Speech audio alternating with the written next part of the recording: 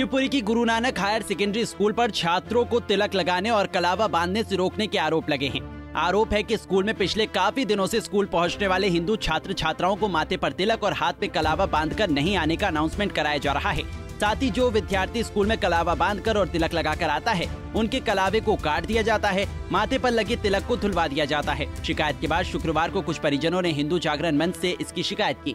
इसके बाद हिंदू जागरण मंच के कार्यकर्ता स्कूल पहुँचे, उन्होंने छात्रों से चर्चा की। छात्रों ने बताया कि स्कूल में माथे पर तिलक और हाथ में कलावा बांधकर नहीं आने का अनाउंसमेंट कराया जाता है। इसके बाद शाम को हिंदू जागरण मंच के कार्यकर्ताओं ने जिला शिक्षा अधिकारी से इस बात की शिकायत की। तिलक लगाने के लिए मना किया जाता है कि स्कूल हाँ अनाउंस हुआ था एक दिन। क्या अनाउंस हुआ था? कि कोई भी तिलक लगा के नहीं आएगा तिलक लगा के आएगा तो जहीं पर ही मुँह धुलवाएँगे। कौन से स्कूल में पढ़ते हो? Guru Nanak higher secondary school आप बेट आप बताएँगे आपको तिलक लगाने मना किया जाता है? हाँ। कौन से स्कूल में पढ़ते हो? Guru Nanak higher secondary school और कोई ऐसा बच्चा है जिसे मना किया जाता है? हाँ हाँ मना किया है। बहुत ही बच्चों को मना किया है बहुत बच्चों को हर बच्चों से मना किया जाता है कि कोई भी बच्चा तिलक लगा के नहीं आएगा। अगर अगर अगर कोई अगर कोई तिलक लगा के आता है या फिर बोच वगैरह पहन के आता है तो वो निकाल लिया अपने बैग में रख ले और तिलक लगा के आता है तो अपना मुँह धो ले। एक तिलक लगाए नहीं देते।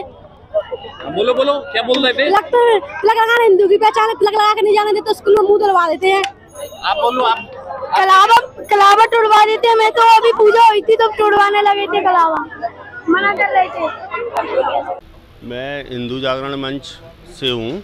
हमारे संगठन को यह जानकारी मिली थी कि गुरु नानक जो स्कूल है, उसमें बच्चों को तिलक लगा कर आने और हाथ पे कलावा बाँध के आने से रोका जा रहा है। यदि वो बाँध के आते हैं तो उनके तिलक हटवा दिए जाते हैं, कलावे काट दिए जाते हैं और दंड की भी धमकी उनको दी जाती थी। हमने जाके स्कूल में जब इस संबंध में बात की तो विद्यालय प्रबंधन ने भी स्वीकार किया था कि हाँ इस प्रकार की घटना हुई है और आगे से नहीं होगी ऐसा उनका कहना था। परंतु बच्चों का ये कहना है कि लगातार पंद्रह दिन से अनाउंस कर रहे हैं कि ऐसा नहीं होगा तिलक लगा के नहीं आएँगे कलावे बाँध के नहीं आएँगे। तो उसकी शिकायत हमने जिला शिक्षा अधिकारी महोदय से की है।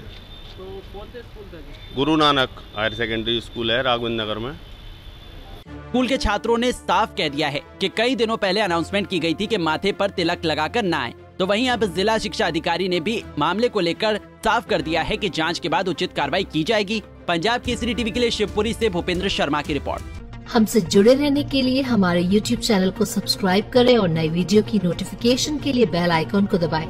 अगर आप ये वीडियो Facebook पर देख रहे हैं तो लाइक ज़रूर करें और ज़्यादा से ज़्यादा शेयर करें। धन्यवाद।